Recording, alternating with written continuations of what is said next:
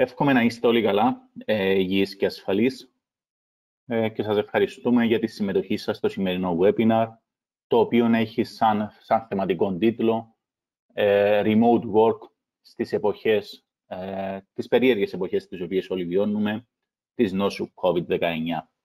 Σκοπός του σημερινού webinar είναι να παρουσιάσουμε κάποια προβλήματα, κάποια challenges, τα οποία όλοι ε, όσοι βρισκόμαστε στον τομέα του IT έχουμε να αντιμετωπίσουμε όχι μόνο την παρούσα περίοδο ε, όπου έχουμε να αντιμετωπίσουμε την καραντίνα και γενικά όλες τις περίεργες καταστάσεις του COVID-19, αλλά γενικότερα πώς μπορούμε, χρησιμοποιώντας αυτή τη ραγδαία τεχνολογική ανάπτυξη, να βελτιώσουμε τον τρόπο με τον οποίο διαχειριζόμαστε το IT infrastructure μας, τον τρόπο με τον οποίο διαχειριζόμαστε τους χρήστες και πώς ταυτόχρονα μπορούμε να γίνουμε proactive.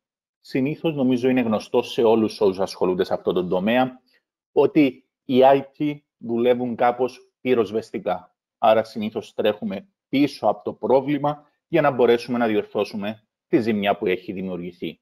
Στόχος και ευχή όλων θα μπορούσαν να ήταν να ήταν proactive. Άρα να μπορούσαν να προλαβαίνουν το πρόβλημα πριν γίνει πραγματικό πρόβλημα. Αυτό θα παρουσιάσουμε σήμερα. Είναι ξεκάθαρο ότι ζούμε περίεργες και πρωτόγνωρες στιγμές που μας αναγκάζουν να αλλάξουμε την καθημερινότητά μας και τους τρόπους με τους οποίους δουλεύουμε. 17 χρόνια πριν, όταν η ανθρωπότητα βίωνε πάλι μια πολύ περίεργη κατάσταση με τον ιό SARS τότε, οδηγήθηκε σε μια τεράστια άψηση του ηλεκτρονικού εμπορίου και του remote work. Ήδη εδώ και μερικές εβδομάδες με τους τρομακτικούς ρυθμούς με τους οποίους εξαπλώνεται ο COVID-19, έχει οδηγήσει ένα μεγάλο αριθμό εταιριών να αλλάξουν τον τρόπο με τον οποίο δουλεύουν. Πλέον, η περίμετρος, ο χώρος όπου βρίσκονται οι χρήστες, είναι τα σπίτια των χρηστών και όχι τα κεντρικά γραφεία της εταιρείας. Είναι δεδομένο ότι μετά το πέρας των περίεργων και πρωτόγνωρων καταστάσεων που βιώνει η ανθρωπότητα σήμερα, θα δούμε δραματικές αλλαγές θα είναι πλέον ξεκάθαρο ότι η φυσική συνάντηση δεν είναι πλέον απαραίτητη και ότι πλέον μπορούμε να πραγματοποιούμε τις συναντήσεις μας online.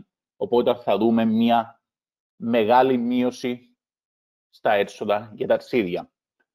Το automation, το οποίο οι εταιρείες έχουν εφαρμόσει αυτή την περίοδο, θα συνεχίσει να αυξάνεται σε ραγδαίο ρυθμό. Μέσα σε τρεις εβδομάδες, οι εταιρείες έχουν πραγματοποιήσει ραγδαίες εξελίξεις στο remote working, στα e-services, στο e-commerce. Οι εταιρείες πλέον δεν θα χρειάζονται αχανείς εκτάσεις για γραφεία. Ο όρος remote work θα συνεχίσει να χρησιμοποιείται και να υπάρχει και μετά κορονοϊού εποχή. Όλες οι πρακτικές που ξέραμε πριν κορονοϊού εποχή είναι δεδομένο ότι θα αλλάξουν. Θα βιώσουμε μια πολύ διαφορετική κατάσταση. Είναι ξεκάθαρο σε όλους ότι ο τρόπος με τον οποίο δουλεύουμε δεν θα είναι ποτέ ξανά ο ίδιος μετά την κορονοϊού εποχή. Είτε μιλάμε για πριν κορονοϊού, είτε την παρούσα φάση, είτε μετά κορονοϊού εποχή, τα τμήματα IT αντιμετωπίζουν σημαντικές προκλήσεις σε ένα πολύπλοκο περιβάλλον που επηρεάζεται από πολλαπλούς εξωγενείς παράγοντες, όπου έχουμε μεγαλύτερο αριθμό συσκευών, άρα έχουμε μεγαλύτερη ανομοιομορφία στην υποδομή μας, οι χρήστες μας πλέον είναι mobile, άρα δεν είναι οι παραδοσιακοί χρήστες με ένα desktop εντός ενός κτηρίου. Υπάρχουν εταιρείες με πολλαπλά remote office, office, είτε εντός της χώρας, είτε εκτός της χώρας. Υπάρχουν περιορισμένα budget και τα budget τους επόμενους μήνες, την επόμενη χρονιά, θα είναι ακόμη πιο περιορισμένα στο κομμάτι του IT.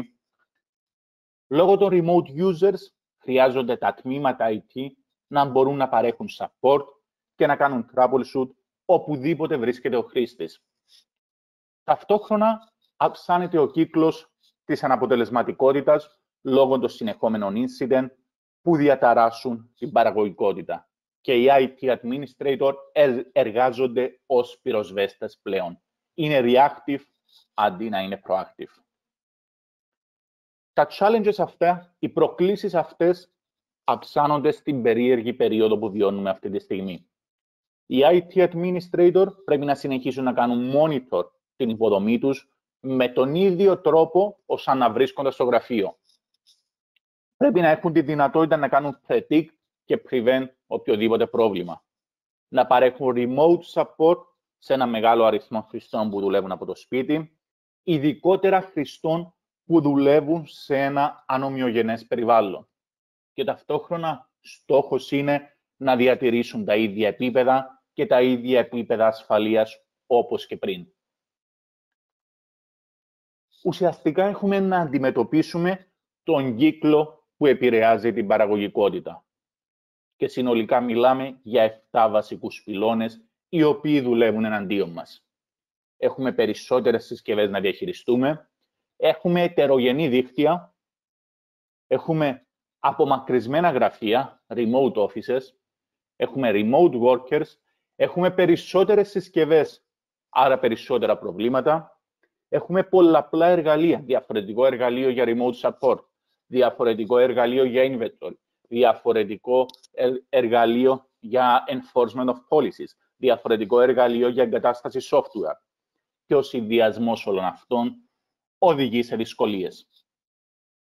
Οπότε εδώ πέρα ερχόμαστε να, να δώσουμε λύση σε όλους αυτούς τους παράγοντες οι οποίοι οδηγούν στην αναποτελεσματικότητα. Και εδώ πέρα έρχεται η λύση, η οποία ονομάζεται πάντα System Management. Μέσα από μία κεντρική πλατφόρμα, όπου μπορώ να κάνω manage, monitor και maintain και διαχείριση όλων των συσκευών μιας εταιρείας, είτε βρίσκονται εντός του corporate δικτύου, εντός του εταιρικού δικτύου, είτε εκτός στα σπίτια των χρηστών. Μια cloud πλατφόρμα, η οποία μας επιτρέπει σε αυτή την περίοδο να συνεχίσουμε να εργαζόμαστε με το ίδιο επίπεδο. Μια πλατφόρμα η οποία έρχεται να βοηθήσει στην επίτευξη των στόχων των IT τμήματων, όσο και της διεύθυνσης. Το IT επιθυμεί να φτάσει στο μέγιστο της αποτελεσματικότητας μέσω συνεχής παρακολούθησης του στάτους και της υγείας όλων των συσκευών, να μπορούν να κάνουν proactive operation και να συνεχίσουν να έχουν flexibility στη λειτουργία τους. Συνάμα, η διεύθυνση επιθυμεί να φτάσει στο μέγιστο της παραγωγικότητας, ούτως ώστε όλες οι συσκευές να είναι σε λειτουργία, επιθυμούν να αποφεύγουν οποιοδήποτε downtime στη λειτουργία και ταυτόχρονα οποιοδήποτε maintenance χρειάζεται να γίνεται με non-intrusive τρόπο. Άρα να μην επηρεάζονται οι χρήστες μας. Και εδώ πέρα η πλατφόρμα η οποία θα σας παρουσιάσω σε λίγο έρχεται να μας βοηθήσει στην αύξηση της παραγωγικότητας βασιζόμενη σε πέντε πυλώνες. Inventory, Monitoring, Management, Remote Support και reporting. Asset inventory. Άρα, αμέσως με το που εγκαταστήσω ένα agent μέσα στο δίκτυο, αυτόματα θα εντοπίσει όλες τις υπόλοιπες συσκευές οι οποίες υπάρχουν μέσα στο δίκτυο, είτε μιλάμε για Windows μηχανές, είτε για Linux, είτε για macOS, είτε για δικτυακές μηχανές, και αυτόματα θα μπορώ να τις διαχειριστώ κεντρικά. Αυτόματα έχω τη δυνατότητα να δημιουργηθεί ένα hardware και software inventory όλη τη υποδομή μου. Άρα, αυτόματα ξέρω όλη την υποδομή μου, τι υπάρχει μέσα στην υποδομή.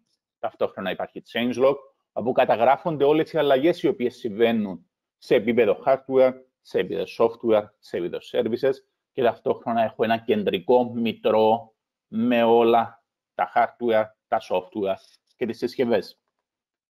Μέσα από αυτή την πλατφόρμα μπορώ να κάνω monitor όλες μου τις συσκευές. Είτε μιλάμε για server, είτε για PC, είτε για smartphone, είτε για tablet, είτε για εκτυπωτές, είτε για switches, router ή οτιδήποτε. Να κάνω monitor τους διάφορους ρόλους του server, να κάνω monitor το CPU, να κάνω monitor τους δίσκους, να δημιουργήσω κάποιο policy το οποίο θα κάνει turn off τους υπολογιστές, να εντοπίσω κάποιον υπολογιστή, κάποιο tablet το οποίο έχει κλαπεί, να μπορέσω να παρακολουθήσω τα αναλώσιμα στους εκτυπωτές.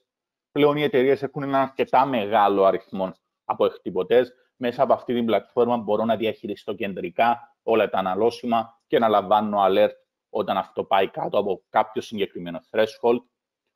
Μπορώ να δημιουργήσω διάφορα monitoring policies τα οποία θα παρακολουθούν τα backup του οργανισμού, τον Exchange, τον SQL, το Remote Desktop, fail logon κλπ. Μέσα από αυτή την πλατφόρμα μπορώ να διαχειριστώ είτε το Windows Update, άρα μπορώ να διαχειριστώ και να κάνω remotely απομακρυσμένα την εγκατάσταση το Windows Update. Ταυτόχρονα όμως μπορώ να κάνω update και third-party εφαρμογές, όπως browser, όπως Adobe Flash, όπως Java, Firefox κλπ. Ταυτόχρονα έχω τη δυνατότητα μέσα από αυτή την πλατφόρμα να εγκαταστήσω καινούργια software στους χρήστες. Άρα, για παράδειγμα, αν εγώ θέλω να κάνω install το Microsoft Teams ή το Zoom στους χρήστες μου, δεν χρειάζεται να συνδεθώ στους υπολογιστές των χρηστών. Μέσα από αυτή την πλατφόρμα μπορώ να εγκαταστήσω το software remotely. Μπορώ να εγκαταστήσω όλες τις αναβαθμίσεις και ταυτόχρονα έχω τη δυνατότητα να κάνω import σε αυτή την πλατφόρμα δικά μου software. Άρα, αν έχω κάποιο δικό μου εσωτερικό software, το οποίο θέλω να εγκαταστήσω σε όλους τους υπολογιστές, το κάνω import στην πλατφόρμα και στέλνω το executable αρχείο. Είτε μιλάμε, μπορώ να στείλω script, PowerShell, command line script, batch file, Visual Basic κλπ. Έχω τη δυνατότητα να διαχειριστώ το κομμάτι της ενέργειας των υπολογιστών. Άρα μπορώ μέσα, ε, μέσα στην πλατφόρμα ε, αυτή να περάσω το κόστος της κιλοβατόρας, άρα περνώντας το κόστος της κιλοβατόρας έχω μια ενδεικτική τιμή του κόστους κατανάλωσης ενέργειας για κάθε συσκευή, για κάθε οργανισμό. Ταυτόχρονα μπορώ να κάνω define διάφορα πώληση, όπως οι συσκευές να κάνουν shutdown, οι συσκευές να μπαίνουν σε sleep mode, να γίνονται turn off οι δίσκοι, να γίνεται turn off το display. Οπότε έχω μια εικόνα και της ενεργειακής κατανάλωσης.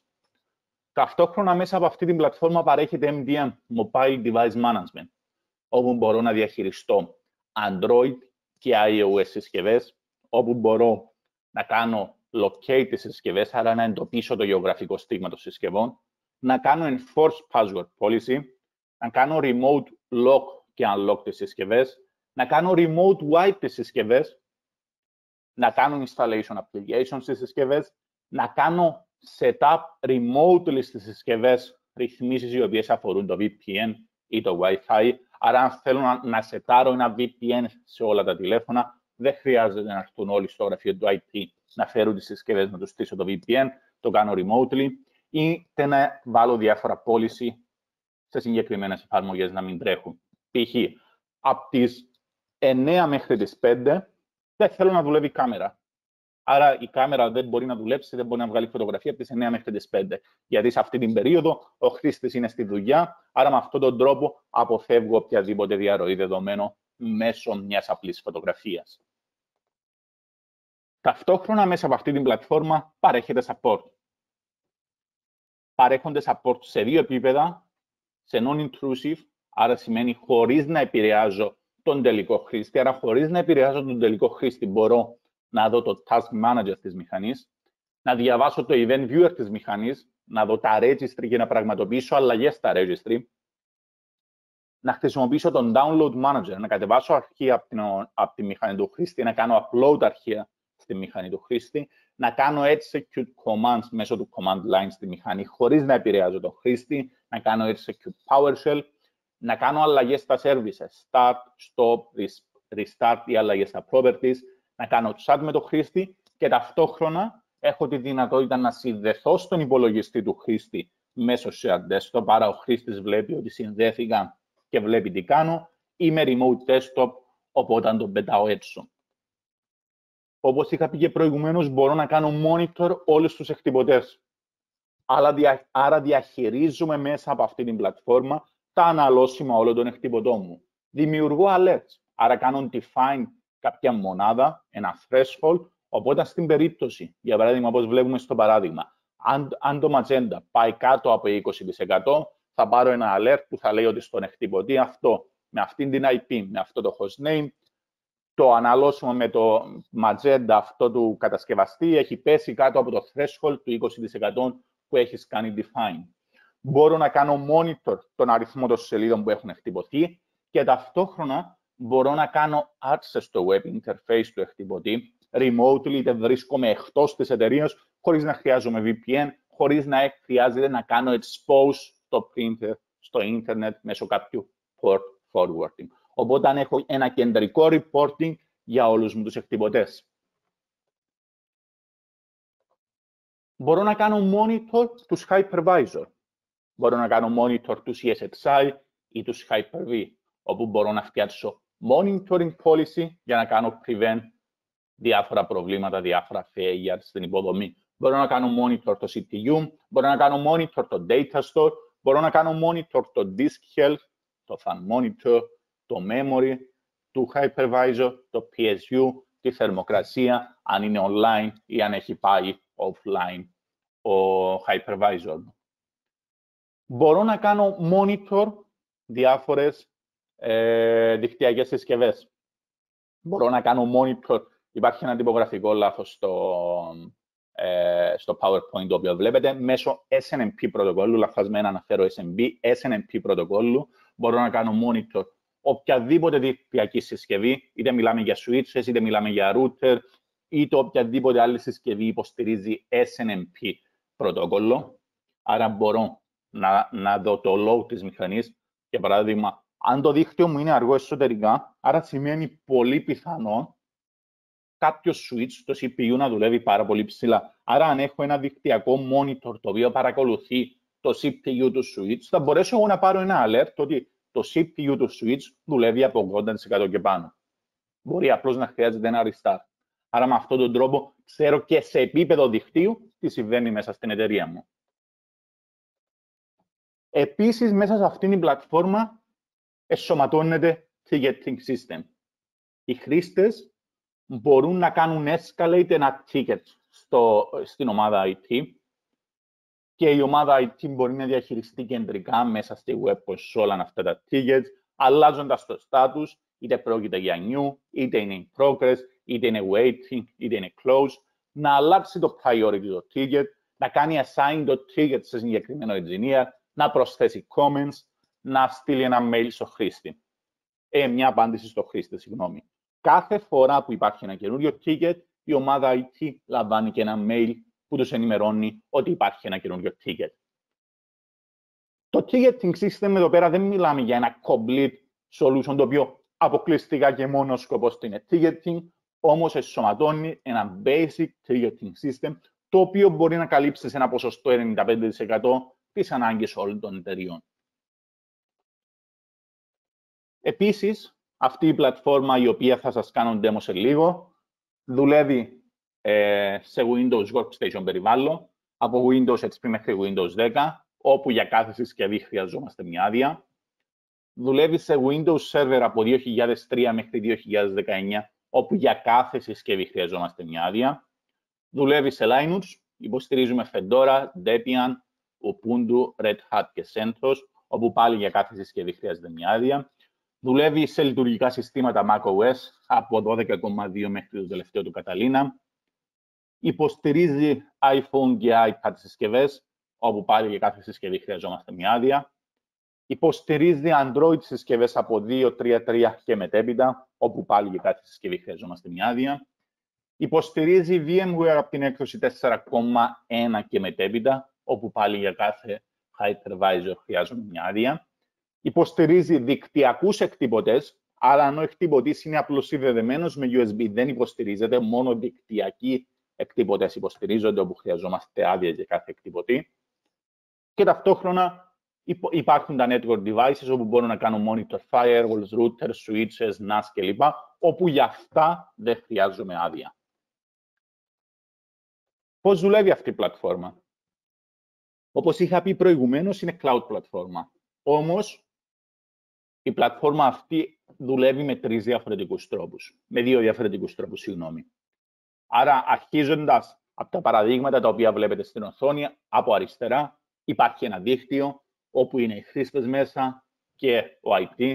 Άρα, μιλάμε για ένα δίκτυο, είναι όλοι μέσα. Όταν εγώ πάω να συνδεθώ στους χρήστες, όταν εγώ πάω να κάνω οποιαδήποτε ενέργεια από το PC μου στους χρήστες, τότε η σύνδεση είναι τοπική, δεν πάει μέσω του cloud. Άρα μιλάμε για local σύνδεση. Στο δεύτερο παράδειγμα, υπάρχει το δίκτυο των χρηστών, αλλά ο IT βρίσκεται κάπου εκτός. Είναι στο σπίτι του, είναι οπουδήποτε εκτός της εταιρείας. Τότε όταν συνδέεται, όταν κάνει αυτές τις ενέργειες, τότε πάει μέσω, μέσω του cloud, μέσω ε, HTTPS σύνδεσης κρυπτογραφημένης με στρατιωτικούς αλγορίθμους. Και τελευταίο παράδειγμα, η κατάσταση η οποία βιώνουμε σήμερα, όπου ο καθένας είναι στα σπίτια του, πάλι όταν ο IT θα συνδεθεί, ε, η σύνδεση γίνεται μέσω του cloud, μέσω HTTPS, με στρατιωτικούς αλγορίθμους. Συνάμα, επειδή είναι μια πλατφόρμα η οποία δίνει access ουσιαστικά σε όλα τα assets της εταιρείας, υπάρχουν διάφοροι μηχανισμοί ασφαλείας. Υπάρχει two-factor authentication, άρα για να μπορέσει να συνδεθεί κάποιος πρέπει να κάνει authenticate με κάποιο OTP. Μπορεί να γίνει restrict το access στην πλατφόρμα αυτή από συγκεκριμένες public IP, τις οποίες εσείς θα κάνετε define μέσα στην κονσόλα. Έχω τη δυνατότητα να εφαρμόσω admin password expiration policy, άρα όπως ακριβώς κάνω στο Active Directory, όπου τα password γίνονται expire μετά από 30, 90 ή 120 μέρες, το ίδιο μπορώ να κάνω και εδώ. Και φυσικά υπάρχει complete security audit trail με όλες τις ενέργειες τις οποίες κάνει κάποιος administrator. Ταυτόχρονα, μιας και βρισκόμαστε και στην GDPR εποχή, τον κανονισμό για την προστασία των προσωπικών δεδομένων, υπάρχει δυνατότητα μέσα από αυτή την πλατφόρμα, όταν συνδεόμαστε στην οθόνη του χρήστη, να εμφανίζει ένα pop-up, αυτό το οποίο βλέπετε στα δεξιά, όπου ζητά από τον χρήστη να μου επιτρέψει να συνδεθώ στον υπολογιστή του και αυτή η ενέργεια, αυτό το approval καταγράφεται στο audit log ή έχω τη δυνατότητα να μην ζητάει, να μην ζητάει permission από τον χρήστη, συνδέομαι και αυτό καταγράφεται. Επίσης, για τα υπόλοιπα, για τα υπόλοιπα εργαλεία, τα non-intrusive εργαλεία, όπως είναι το Event Viewer, το Task Manager, το File Transfer κλπ., έχω τη δυνατότητα πάλι να ζητώ permission από τον χρήστη να τα χρησιμοποιήσω ή να συνδέομαι μόνο σε αυτά, να συνδέομαι και βλέπω Event Viewer, Task Manager, File Transfer, αλλά δεν μπορώ να κάνω ε, share screen την οθόνη του χρήστη, χωρίς να ζητάω permission. Όλα αυτά είναι full παραμετροποιήσιμα. Αυτή η πλατφόρμα, ε, αγαπητοί φίλοι και φίλοι, φίλες και φίλοι, έρχεται να μας βοηθήσει να γίνουμε proactive αντί να είμαστε reactive. Μας βοηθάει να προλαβαίνουμε και να επιλύουμε το πρόβλημα προτού γίνει πραγματικό πρόβλημα. Και αυτός είναι ο στόχος όλων όσων εργάζονται σε αυτόν τον τομέα. Άρα, ερχόμαστε και γινόμαστε proactive στο security, όπου μπορούμε να κάνουμε monitor fail authentication στο server και στα workstation. Ένα πολύ απλό παράδειγμα. Υπάρχει ένα δίκτυο όπου είναι οι χρήστες και οι server. Μιλάμε για ένα flat δίκτυο. Άρα δεν υπάρχουν διάφορες ζώνες, διαφορετικές ζώνες οι server όπου να υπάρχουν ε, firewall restriction το ποιοι μπορούν να πάρουν πρόσβαση. Άρα μιλάμε για ένα flat δίκτυο. Μπορεί οι χρήστες μέσω του Active Directory να μην έχουν δικαίωμα να κάνουν logon στο server όμως, επειδή μιλάμε για flat δίκτυο, μπορούν να δοκιμάσουν να κάνουν RDP και μπορούν σαφώς να κάνουν exploit κάποιο vulnerability, γιατί ο server δεν έχει πατσαριστεί και να μπορέσουν να πάρουν access. Άρα, εγώ δημιουργώντας ένα monitor, το οποίο θα παρακολουθεί τα fail logon, μπορώ να πάρω ένα alert το οποίο θα λέει ότι ο Λάμπρος κάνει fail logon στον Active Directory. Γιατί ο Λάμπρος, ο οποίος δεν έχει δικαίωμα, δεν του έχω δώσει Active Directory Write να μπορεί να κάνει RDP στο, στον Active Directory, γιατί προσπαθεί. Αυτό είναι ένα indicator of abnormal behavior. Είναι ένα indicator για κάτι περίεργο το οποίο συμβαίνει στην εταιρεία. Το οποίο μετέπειτα ίσως να μας οδηγήσει σε πραγματικό πρόβλημα. Άρα, εγώ λαμβάνοντας αυτό το alert, είμαι reactive. Είμαι proactive, απολογούμε. Ταυτόχρονα, μέσα από αυτή την πλατφόρμα μπορώ να γίνω proactive παρακολουθώντας και διασφαλίζοντας ότι όλα μου τα συστήματα είναι operational και functional. Άρα πλέον ξέρω ότι όλα μου τα συστήματα είναι online. Αν κάποιος σύστημα πάει offline, αμέσως θα λάβω κάποιο alert το οποίο θα λέει ότι, για παράδειγμα, ο server του ERP έχει πέσει, αλλά δεν θα περιμένω από τους χρήστες να με πάρουν να γκρινιάζουν ο server έχει πέσει. Μπορώ να κάνω monitor του antivirus status. Οποιοδήποτε antivirus δεν σημαίνει ότι μιλάμε απαραίτητα για πάντα. Άρα, σε περίπτωση που κάνει detector σε αυτή τη μηχανή δεν υπάρχει antivirus εγκατεστημένο, αμέσως πάει και εγκαθιστά το antivirus και ταυτόχρονα σε ενημερώνει. Άρα, μου λύνει το πρόβλημα χωρίς να χρειαστεί εγώ να συνδεθώ. Κάνει monitor το CPU και το RAM των μηχανών. Αν υπάρχει κάποιο process το οποίο το οποίο καταναλώνει ε, μεγάλο αριθμό από τα resources, μπορεί να το κάνει kill. Κάνει monitor το disk usage. Άρα, εγώ κάνω define μέσα στην πλατφόρμα κάποιο threshold. Αν περάσει αυτό το threshold, δηλαδή, για παράδειγμα, αν ο, αν ο ελεύθερος δίσκος στο file server ή στον υπολογιστή του CEO της εταιρείας πάει πιο κάτω από το 10%, θέλω να κάνεις δύο, δύο ενέργειες. Θέλω να καθαρίσεις τα temp και το recycle bin, άρα να κερδίσω λίγο χρόνο και να μου στείλεις ένα alert. Άρα αυτόματα είμαι proactive. Δεν περιμένω να κρασάρει ο υπολογιστής, να πάρει ο CEO, ο υπολογιστής μου δεν δουλεύει, εγώ είμαι ένας step πιο μπροστά. Μπορώ να κάνω monitor τα διάφορα process. Αν κάποιο process δεν τρέχει το οποίο έπρεπε να τρέχει, δοκίμασε σε γίνατο και ταυτόχρονα ενημέρωσέ με. Μπορώ να κάνω monitor τα διάφορα, τα διάφορα error codes και τα διάφορα type μέσα στο event viewer. Μπορώ να κάνω monitor αν οι χρήστες μου κάνουν install ή uninstall software στους υπολογιστές τους. Ταυτόχρονα μπορώ να διασφαλίσω ότι όλα μου τα συστήματα τρέχουν πάντα τις τελευταίες και τις ενημερωμένες εκδόσεις, είτε αφορά Windows, είτε αφορά third-party application. Άρα, μέσα από αυτή την πλατφόρμα, όταν υπάρχει, για παράδειγμα, μια καινούργια έκδοση στο Skype, μπορώ να κάνω push το καινούριο update. Ή όταν υπάρχει καινούργια Windows update, τα προγραμματίζω εγώ, θα σας δείξω ακριβώς πώς γίνεται στο demo σε λίγο. Και μιλάμε για μια πλατφόρμα όπου ουσιαστικά δεν χρειάζεται κάποιο infrastructure on premises. Μιλάμε για μια cloud-hosted υπηρεσία, όπου το μόνο που χρειάζεστε είναι ένα browser και σύνδεση στο, στο διαδίκτυο. Είναι εξαιρετικά απλή, με ένα πάρα πολύ απλό, εύκολο και διαχειρίσιμο interface και εξαιρετικά ελαφριά. Χρειάζεται ένας απλός ultra light agent, τη στάτησε στο 10 MB, με minimal memory και CPU consumption και εξαιρετικά χαμηλή κατανάλωση στο bandwidth.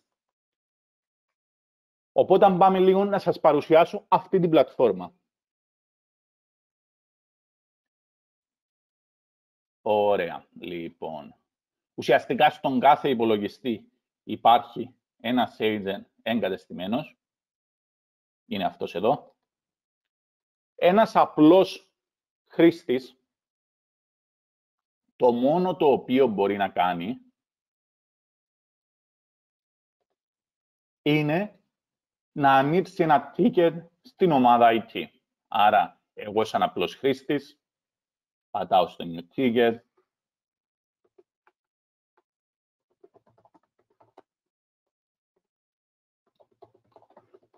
και αμέσως δημιουργώ ένα ticket στην ομάδα IT. Εγώ όμως, ε, σαν administrator, μπορώ να κάνω login σε αυτή την πλατφόρμα. Άρα, κάνοντας login ως administrator σε αυτή την πλατφόρμα, βλέπω όλους μου τους υπολογιστές οι οποίοι είναι συνδεδεμένοι. Βλέπω, βλέπω συγγνώμη, όλα τα groups με συσκευές τα οποία έχω. Πατώντας σε ένα από αυτά τα groups, αμέσως μου δείχνει όλες μου τις συσκευές ε, τις οποίες έχω κάτω από αυτό το group. Άρα μπορείτε να δείτε ότι εδώ πέρα έχω ε, δικτυακές συσκευές, ESXi, εκτύπωτες κλπ. Άρα πατώντας σε μια από αυτές τις συσκευές, μπορώ να δω τη συσκευή online όταν το εικονίδιο είναι γαλάζιο. Όταν είναι γαλάζιο και υπάρχει, ε, υπάρχει το σηματάκι stop αυτό το κόκκινο εικονίδιο, το οποίο μπορείτε να δείτε σημαίνει ότι είναι ενεργοποιημένο το privacy, άρα χρειάζομαι δικαίωμα από το χρήστη για να συνδεθώ. Χρειάζομαι approval από το χρήστη για να συνδεθώ. Οπότε, πατώντας σε μια συσκευή, αμέσως μου ανοίγει, μου ανοίγει tunnel με αυτή τη συσκευή. Αν η συσκευή είναι στο ίδιο δίκτυο, μιλάμε για local, άλλη συσκευή είναι remote, ε, τότε μιλάμε μέσω του cloud. Άρα, αμέσως βλέπω όλες τις πληροφορίες για αυτή τη συσκευή, την IP της, τον κατασκευαστή της, το μοντέλο. Πατώντας από τα εικονίδια τα οποία υπάρχουν στα αριστερά, μπορώ εγώ να πάρω remote ένα screenshot από την οθόνη του χρήστη. Μπορώ να δω όλα τα services τα οποία τρέχουν στη μηχανή και να κάνω αλλαγές είτε start, stop, είτε στα properties να αλλάξω κάποια, κάποια πώληση. Μπορώ να κάνω share screen με το χρήστη, άρα μπορώ να συνδεθώ και να δω την οθόνη του χρήστη κανονικά και να μπορέσω να κάνω οποιασδήποτε αλλαγές θέλω. Μπορώ να συνδυθώ με remote test, το παρά σε αυτή την περίπτωση σημαίνει ότι πετάω το χρήστη έξω.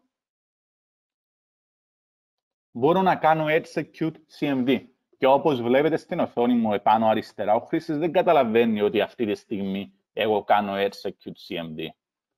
Ο χρήστης συνεχίζει και δουλεύει κανονικά, άρα μιλάμε για non-intrusive εργαλεία. Μπορώ να κάνω execute PowerShell commands.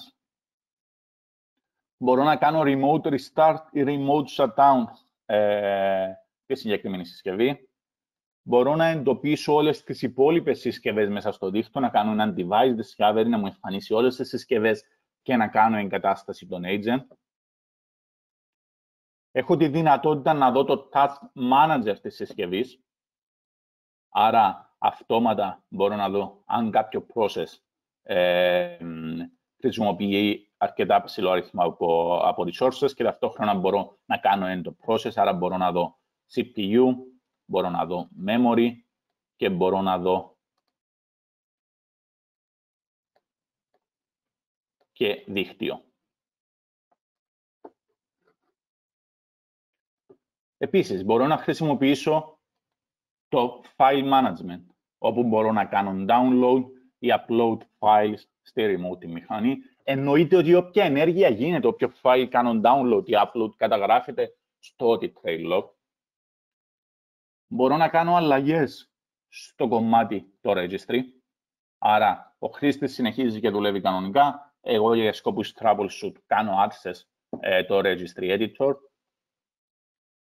Έχω τη δυνατότητα να κάνω execute διάφορα, διάφορα quick jobs. Για παράδειγμα, είμαι συνδεδεμένος σε αυτό το χρήστη.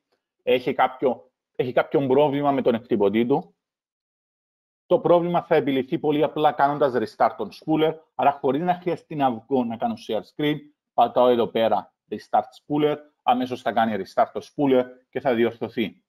Ή ένα άλλο παράδειγμα, είμαι συνδεδεμένος σε ένα υπολογιστή ο οποίος είναι εκτός του δικτύου, είναι σε διαφορετική επαρχία. Για να μπορέσω να επιλύσω το πρόβλημα αυτού του υπολογιστή, είναι μόνο με safe mode. Δυστυχώς δεν υπάρχει σε αυτό το γραφείο κάποιος ε, συνάδελφος ο οποίος να είναι IT oriented, Άρα, εγώ μέσα από αυτή την πλατφόρμα μπορώ να κάνω restart αυτή τη μηχανή, να μπει σε safe mode με networking. Άρα, σημαίνει ότι ο υπολογιστής θα έχει δίκτυο και εγώ μέσω safe mode θα πάρω πάλι access, θα κάνω αυτό που πρέπει να κάνω και μετά να επαναφέρω τη μηχανή ε, μέσα στην πλατφόρμα.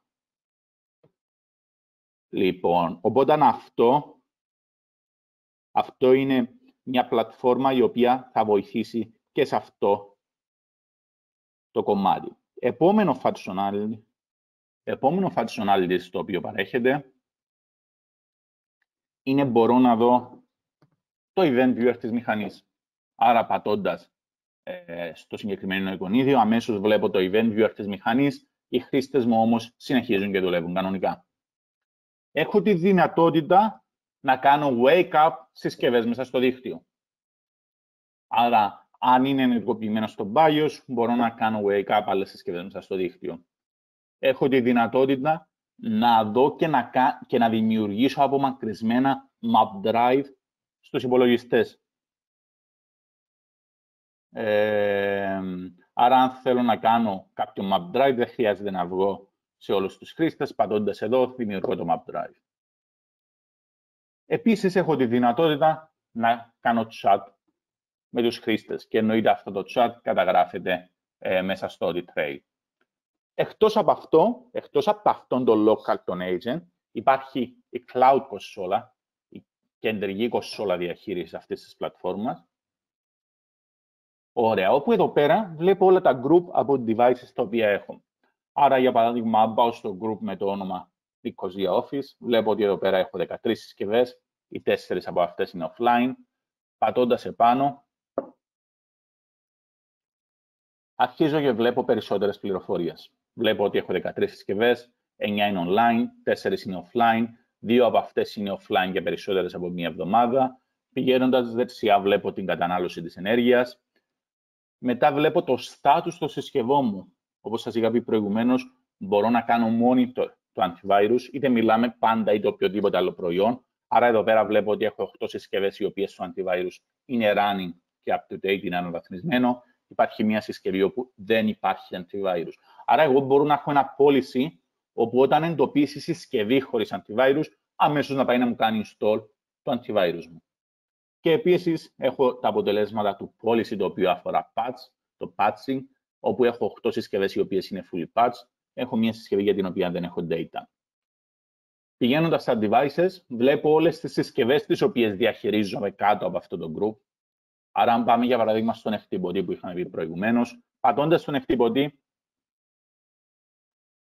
αρχίζω και βλέπω όλες τις πληροφορίες οι οποίες σχετίζονται με αυτόν τον εκτυπωτή. Το hostname της συσκευής, το ID, τον κατασκευαστή, ε, βλέπω ότι είναι συνδεδεμένος με Ethernet, βλέπω την IP του, το MAC address του, βλέπω την κατανάλωση του, το serial, ε, το serial number του, βλέπω τον αριθμό των σελίδων που έχει εκτυπώσει. Ωραία. Και μετά στα δεξιά μπορώ να δω ότι, ότι η συσκευή αυτή είναι online. Μπορώ να έρθω εγώ μέσα στην πλατφόρμα και να περάσω την ημερομηνία ε, λήψη της εγγύησης της συγκεκριμένης συσκευής. Μπορώ να καταγράψω οποιαδήποτε notes θέλω για αυτή τη συσκευή. Και ταυτόχρονα εδώ πέρα βλέπω τα αναλώσιμα. Άρα βλέπω, για παράδειγμα, ότι για τη Cyan είμαστε στο 2%. Άρα είναι πιο κάτω από το threshold που έχω κάνει define, άρα θα γίνει generate alert. Το threshold μου είναι στα 15. Βλέπω ότι η magenta είναι 24, είναι κάτω από το 30. Οπότε, με αυτόν τον τρόπο διαχειρίζομαι κεντρικά και τα αναλώσιμα. Για παράδειγμα, θέλω να κάνω monitor μια συσκευή. Άρα, πηγαίνοντας σε αυτόν τον υπολογιστή εδώ πέρα, βλέπω το όνομα του υπολογιστή, το description της συσκευής, την εσωτερική IP, την εξωτερική, τον χρήστη και το λειτουργικό σύστημα και πατώντας επάνω, αρχίζω και βλέπω περισσότερες πληροφορίες για αυτή τη συσκευή. Βλέπω στο domain το οποίο ανήκει, πότε έκανε τελευταία φορά reboot, την IP του, τον κατασκευαστή του, βλέπω την Lenovo, βλέπω το μοντέλο, βλέπω το serial number και πατώντας στο more, μπορώ να δω όλο το hardware inventory, το οποίο εννοείται ότι μπορώ να το κάνω έτσι προς σε report, το οποίο σχετίζεται για αυτή τη συσκευή. Άρα βλέπω το hostname, το λειτουργικό σύστημα, την αρχιτεκτονική, βλέπω ότι έκανε reboot πριν από πέντε μέρες, βλέπω πληροφορίες για τους δίσκους, βλέπω πληροφορίες για το device data, βλέπω πληροφορίες για το hardware. Το είναι Lenovo, το μοντέλο, το serial number, το motherboard, το CPU, πόσα cores υπάρχουν, πόσο RAM υπάρχει, πληροφορίες για το display adapter, πληροφορίες για τα monitors και πόσα monitor υπάρχουν, πληροφορίες για το BIOS, πληροφορίες για τις κάρτες δικτύου, για τις IP, για τα, για τα, για τα, για τα memory bank. Μπορώ να δω ποιες συσκευές είναι attached σε αυτόν τον υπολογιστή. Άρα βλέπω ότι σε αυτόν τον υπολογιστή είναι attached μέσω δικτύου ο συγκεκριμένος εκτυπωτής. Μπορώ να δω software inventory για το συγκεκριμένο υπολογιστή, όπου μπορώ να δω όλα τα software τα οποία είναι εγκαταστημένα. Μπορώ να δω inventory μαζί με το status για όλα τα services τα οποία υπάρχουν σε αυτόν τον υπολογιστή. Μπορώ να δω changelog, αλλαγές οι οποίες αφορούν system, software, hardware στο συγκεκριμένο υπολογιστή.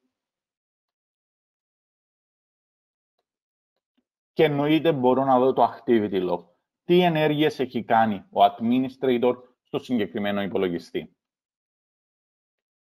Πηγαίνοντας στο manager το συγκεκριμένο υπολογιστή, μπορώ να δω αν εκκρεμούν κάποια Windows Update. Άρα, εδώ πέρα βλέπουμε ότι το συγκεκριμένος υπολογιστής είναι up to date.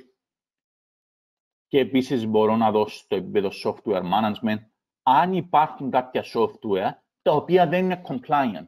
Άρα, εγώ έχω κάνει define κάποια software τα οποία λέω ότι για να είναι compliant πρέπει να τρέχει την τελευταία έκδοση. Άρα, για παράδειγμα, στο 7-zip η έκδοση η οποία είναι εγκαταστημένη είναι 19.00, η τελευταία έκδοση είναι 19.00, άρα είναι compliant. Αν έρθω, για παράδειγμα, στο, στο browser, στο Google Chrome, βλέπω ότι η έκδοση η οποία είναι εγκαταστημένη είναι η 80.0, η τελευταία έκδοση είναι η 81.0, βλέπω ότι δεν είναι compliant. Μπορώ να πατήσω εδώ πέρα approve και αμέσως να το κάνει install. Εννοείται ότι μπορώ να αυτοματοποιήσω αυτή τη διαδικασία και να γίνεται αυτόματα. Επίσης, μπορώ να δω σε επίπεδο monitor όλα τα alerts τα οποία έχουν γίνει trigger για το συγκεκριμένο υπολογιστή. Alert τα οποία εγώ κάνω define. Για παράδειγμα, εδώ πέρα βλέπω ένα alert ότι ο συγκεκριμένος υπολογιστής έκανε unexpected shutdown. Άρα σημαίνει ότι έχω κάνω trigger, έχω κάποιο policy το οποίο παρακολουθεί αυτό το πράγμα. Θα σας δείξω τα policies αμέσως τώρα. Επίσης, στο support βλέπω όλα τα tickets τα οποία έχουν γίνει generate και αφορούν το συγκεκριμένο υπολογιστή και τα οποία είναι open, είναι ακόμη ανοιχτά. Άρα βλέπω το, τον αριθμό του ticket, βλέπω τον group από συσκευές που αφορά, βλέπω ποιος χρήστης, ε, από ποιο χρήστη έχει δημιουργηθεί, το πρόβλημα το οποίο αναφέρει, την περιγραφή, το priority, βλέπω ότι είναι new ticket, την ημερομηνία και σε ποιον έχει γίνει assign. Άρα, πατώντα αυτό το ticket, αμέσως βλέπω, για να πάμε στο προηγούμενο παράδειγμα, βλέπω όλες τις πληροφορίες, μπορώ να αλλάξω το priority, μπορώ να το βάλω ότι είναι σε in progress, ε, μπορώ να αλλάξω σε ποιον engineer είναι assign και ταυτόχρονα μπορώ να προσθέσω ε, διάφορα comments. Πηγαίνοντας πίσω σε επίπεδο group, μπορώ να δω αυτές τις πληροφορίες τις οποίες σας έδειξα ε, τώρα σε επίπεδο group. Άρα πηγαίνοντας στα devices, όπως σας είχα πει, βλέπουμε όλες τις συσκευές, πηγαίνοντας στο ότι βλέπω όλες τις συσκευές μέσα σε αυτό το δίκτυο, τις οποίες έχει εντοπίσει. Άρα, για παράδειγμα, μπορώ να δω Windows συσκευές και να τις επιλέξω πάρα πολύ απλά και να πατήσω install και να γίνει εγκατάσταση. Μπορώ να δω ε, Mac συσκευές οι οποίες υπάρχουν μέσα στο δίκτυο και να κάνω εγκατάσταση. Printers τα οποία υπάρχουν μέσα στο δίκτυο. Ε, ESXi τα οποία υπάρχουν μέσα στο δίκτυο και δεν τα κάνω manage ή οποιασδήποτε άλλες συσκευές. Πηγαίνοντας στο κομμάτι manage θα δω το status το οποίο αφορά το software update, το patch management update και iOS management το οποίο αφορά τις συγκεκριμένες υπολογιστές. Άρα εδώ πέρα βλέπω τα αποτελέσματα του policy τα οποία έχω και τρέχουν και βλέπουμε ότι οι υπολογιστές μου είναι full patch. Πηγαίνοντας στο software management βλέπω το software compliance σε επίπεδο group. Άρα αν έχω υπολογιστές οι οποίοι δεν είναι compliant είναι compliant και εννοείται όλα αυτά τα άτομα το οποίο θα σας δείξω αμέσως τώρα και μπορώ ταυτόχρονα να διαχειριστώ και iOS management. Μέσα σε αυτή την πλατφόρμα υπάρχει εσωματωμένο ένα πράγμα το οποίο ονομάζεται ComStore. Ουσιαστικά είναι ένα marketplace το οποίο εσωματώνει εκατοντάδες δωρεάν εφαρμογές.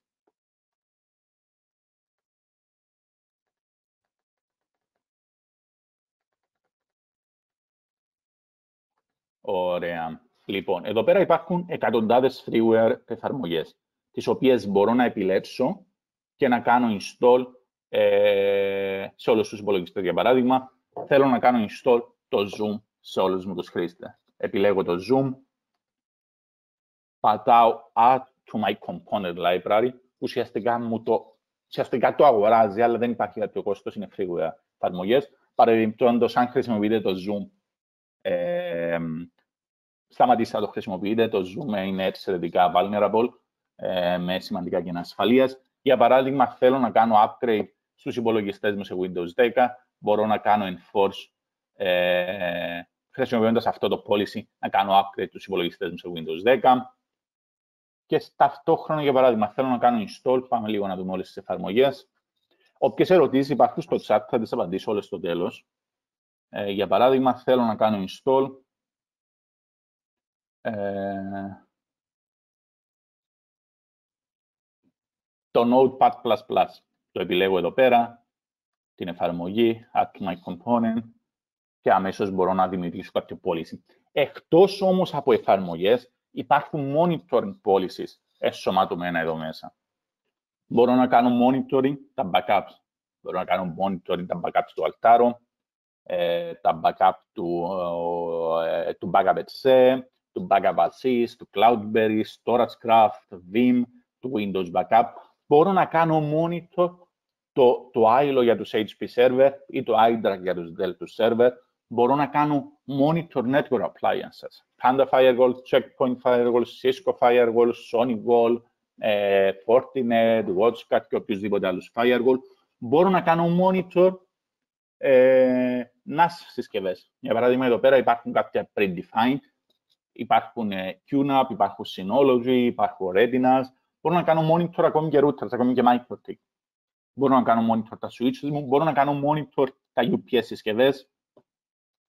Επίσης, μπορώ να κάνω monitor διάφορους ρόλους του server μου. Μπορώ να κάνω monitor το DHCP ρόλο, το DNS ρόλο, το Domain Controller, το Remote Desktop Service, το Exchange. Άρα υπάρχουν διάφορα από την Define Monitor, τα οποία μπορώ να χρησιμοποιήσω και να διαχειριστώ. Και όλα αυτά τα monitors μπορώ να τα κάνω enforce. Άρα, πώς γίνεται, πώς γίνεται όλη αυτή η διαδικασία; Αρχίζοντας από, από την εγκατάσταση του software, μπορώ να κάνω εγκατάσταση software είτε σε ένα υπολογιστή, είτε σε πολλαπλούς υπολογιστές. Άρα, αν πάω στο παράδειγμα εδώ πέρα, θέλω να κάνω εγκατάσταση σε ένα συγκεκριμένο υπολογιστή, θα επιλέξω ποιον υπολογιστή θέλω. Εννοείται ότι μπορώ να κάνω και αναζήτηση, χωρίς να χρειαστεί να πάω στα group. Άρα θέλω στον υπολογιστή με το όνομα Ελκατσόνης. Επιλέγω τον υπολογιστή και θέλω να κάνω εγκατάσταση, ονομάζω test installation. Και εδώ πέρα θα διαλέξω ποιο software θέλω να του κάνω εγκατάσταση. Προϋποθέτει ότι έχω πάει στο, ε, στο, ε, στο marketplace και το, έχω, και το έχω αγοράσει, το έχω κάνει get, ε, όπου όπως είπα δεν υπάρχει κάποιο κόστος. Άρα θέλω να κάνω install το MS Teams. Εδώ πέρα, Microsoft Teams. Επιλέγω το Microsoft Teams. Λοιπόν, μπορώ να βάλω κάποια πώληση, για παράδειγμα, αν αυτό το task δεν γίνει εγκατάσταση μέσα σε μια ώρα να σταματήσει, αν, αν πετύχει, αν αποτύχει να μου στείλεις κάποιο alert, δημιουργώ το task, πατάω save και αμέσως έχει δημιουργήσει ένα real-time task, το οποίο θα πάει να κάνει install transparent και silent το Microsoft Teams σε όλους τους υπολογιστές, χωρίς να χρειαστεί οποιαδήποτε, ε, ε, οποιαδήποτε ενέργεια από τους χρήστες. Πηγαίνοντας στα completed jobs, μπορώ να δω τα αποτελέσματα αυτών των συσκευών. Άρα, για παράδειγμα, αν έρθω π.χ. εδώ πέρα, πατώντας σε αυτό, βλέπω ότι έχει γίνει succeeded. Πατώντας εδώ πέρα, βλέπω τα αποτελέσματα της συγκεκριμένης εγκατάστασης. Όπως σας είχα πει και προηγουμένως, σε αυτή την πλατφόρμα μπορείτε να κάνετε import και δικά σας software και δικά σας script. Άρα πηγαίνοντας στα components, στα components ουσιαστικά είναι αυτά τα οποία έχω αγοράσει σε εισαγωγικά από το ComStore. Άρα πατώντας στο new component, έχω τη δυνατότητα να κάνω import applications, έχω να κάνω import device monitor, ουσιαστικά device monitor, αν πάω στον κατασκευαστή και πάρω το MIP για τον κάθε συσκευή, το κάνω import και τους κάνω monitor ή μπορώ να κάνω script. Ας δοκιμάσουμε το παράδειγμα script. Άρα πηγαίνοντας εδώ πέρα, έχω τη δυνατότητα να δημιουργήσω ένα πακέτο, το οποίο ουσιαστικά θα είναι ένα script είτε σε batch, είτε σε units, είτε VB script, είτε JavaScript, είτε PowerShell, είτε οποιαδήποτε ε, άλλη γλώσσα ε, scripting και ταυτόχρονα μπορώ να φορτώσω το file. Άρα μπορώ να φορτώσω ένα file το οποίο θα τρέξει κάποιο batch file, κάποιο PowerShell command το οποίο θα το κάνει η εγκατάσταση. Επίσης, ένα από τα, από τα ωραία functionalities και features τα οποία παρέχει αυτή η πλατφόρμα είναι το κομμάτι της διαχείρισης των policies και το κομμάτι του να γίνω proactive. Άρα, πηγαίνοντας στα policies, έχω τη δυνατότητα να κάνω, να δημιουργήσω διάφορα policies τα οποία, ε, τα οποία θα μας βοηθήσουν στο να γίνουμε πραγματικά proactive. Άρα, πατώντας στο new, στο new account policy, υπάρχουν διάφορα είδη. Εμείς θα επιλέξουμε να κάνουμε κάποιο monitoring policy, όπου έχω τη δυνατότητα εδώ πέρα, για παράδειγμα, κάνω monitor το antivirus, οποιοδήποτε antivirus όπως είχαμε πει. Σε περίπτωση που δεν εντοπίσεις antivirus στη μηχανή ή δεν τρέχει, ωραία, για περίοδο 10 λεπτών, θέλω να κάνεις δύο ενέργειες. Θέλω να τρέξεις αυτό το αρχείο, το οποίο είναι το αρχείο εγκατάστασης του πάντα, ή οποιοδήποτε άλλο antivirus το οποίο εγώ μπορώ να κάνω import. Και ταυτόχρονα θέλω να μου στείλεις και ένα mail το οποίο να λέει ότι σε αυτή τη μηχανή δεν υπήρχε antivirus, έκανα αυτή την ενέργεια και τα αποτελέσματα της δικής μου ενέργειας ήταν να γίνει εγκατάσταση του antivirus ε, σε αυτόν τον υπολογιστή. Επίσης, μπορώ να κάνω monitor CPU. Άρα, για παράδειγμα, αν το CPU έχει φτάσει σε επίπεδο 95% για περίοδο 5 λεπτών και θέλω να το ελέγχεις κάθε ένα λεπτό, θέλω να μου στείλεις ένα mail το οποίο θα λέει ότι σε αυτόν τον υπολογιστή υπάρχει αυτή η συμπεριφορά. Ή ένας άλλος τρόπος. Κάνω monitor το disk usage. Άρα, για παράδειγμα, αν οποιοδήποτε drive ξεπεράσει το 95%, για περισσότερο από 5 λεπτά, θέλω να κάνεις δύο ενέργειες. Θέλω να τρέξεις τον disk cleanup, άρα να καθαρίσεις διάφορα unnecessary αρχεία και ταυτόχρονα θέλω να μου στείλεις και ένα ενημερωτικό. Επίσης, μπορώ να κάνω monitor διάφορα errors μέσα στο event viewer. Άρα, μπορώ να κάνω define διάφορα, διάφορα event codes ή διάφορα event type, αν είναι critical, αν είναι warning, αν είναι information κλπ. Τα οποία θα με ενημερώσει αν με αυτόν τον τρόπο, όταν έχω fail logon, όταν έχω fail RDP logon, εγώ θα πάρω ένα alert. Και θα κάνω define και το threshold. Δηλαδή, αν για παράδειγμα μέσα σε μια ώρα έχω 30 fail logon, αυτή δεν είναι φυσιολογική συμπεριφορά. Ακόμη και αν είναι εσωτερικά τα fail logon, σημαίνει ότι έχω έναν user ο οποίος πιθανότατα είναι malicious insider. Μπορώ να κάνω monitor ε, είτε, είτε σε επίπεδο SNMP, ε, διάφορες συσκευές, άρα πηγαίνοντας σε επίπεδο memory monitor, ε, μπορώ να παρακολουθήσω το memory της μηχανής. Ε, μπορώ να χρησιμοποιήσω τα monitor, τα οποία σας είχα δείξει προηγουμένως, άρα χρησιμοποιώντας τα monitor, θέλω να έρθεις και να μου κάνεις monitor του Synology. Άρα έχω Synology να στην εταιρεία, επιλέγω το Synology Monitor, το οποίο θα παρακολουθήσει το status της συσκευής, το status των δίσκων, τη θερμοκρασία, αν σε περάσει κάποιο threshold. Θέλω να με ενημερώσεις αν υπάρχουν updates στο Synology. Θέλω να με ενημερώσεις για το status του fan. Θέλω να με ενημερώσεις για το status του CPU.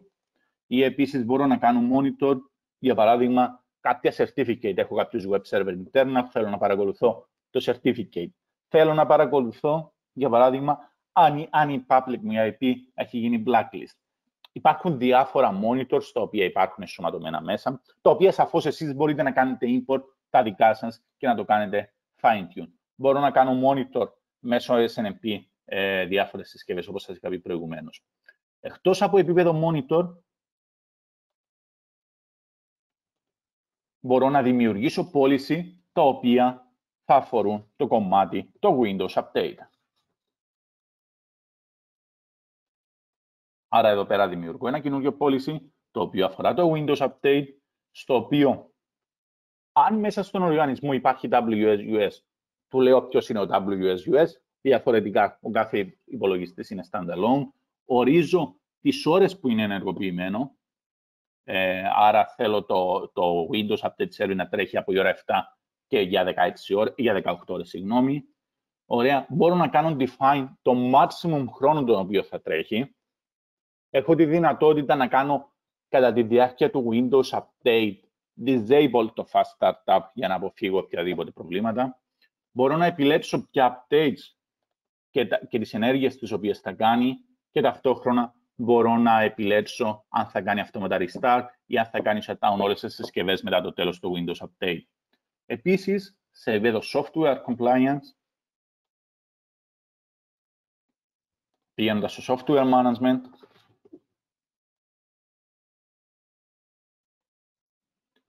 ωραία, μπορώ να έρθω διάφορες εφαρμογές, τις οποίες θα δηλώσω ως managed. Μέσω του managed σημαίνει ότι θέλω να τις, να τις διαχειρίζομαι και να τις παρακολουθώ κεντρικά και όταν υπάρχει κάποια καινούργια έκδοση, θέλω να μπορώ να κάνω τις εγκαταστάσεις ε, remotely μέσα από αυτή την πλατφόρμα. Επίσης, μπορώ να διαχειριστώ το κομμάτι του patching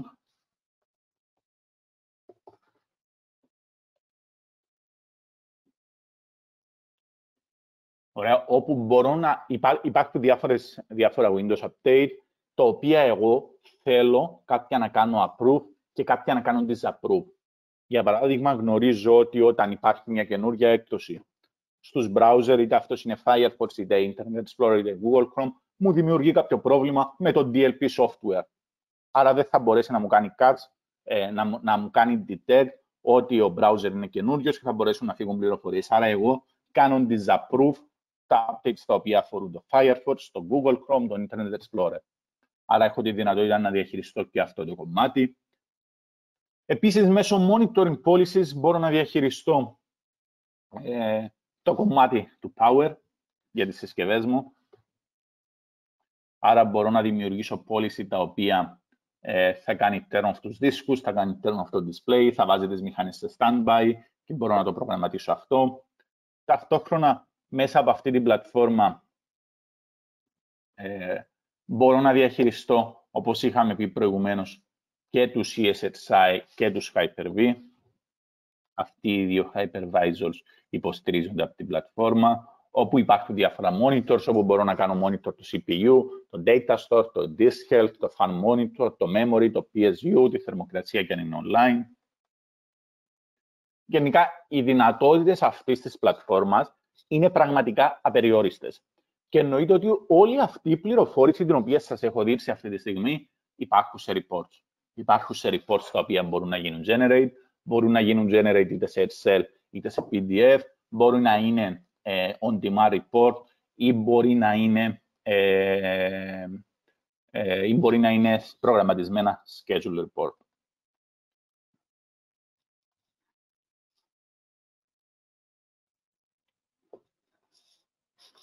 Επίσης, αυτή η πλατφόρμα συνεχώς βελτιώνεται και αναβαθμίζεται. Ε, μέσα στο καλοκαίρι θα υπάρχει μια καινούργια έκδοση αυτής της πλατφόρμας, η οποία θα εσωματώνει κάποια καινούργια functionalities, κάποια καινούργια features. Ε, ουσιαστικά θα υπάρχει remote web, άρα μέσω browser.